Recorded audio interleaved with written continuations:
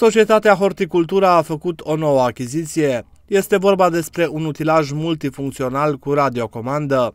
Acesta va funcționa foarte bine și pe terenurile denivelate și va fi cel care va tunde vegetația din parcurile orașului.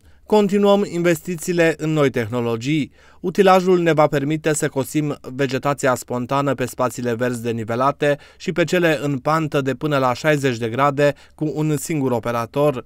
Astfel, echipele de cosaș se vor putea concentra pe alte zone și vom putea acoperi suprafețe mai mari de teren într-un timp mai scurt, transmit reprezentanții Horticultura.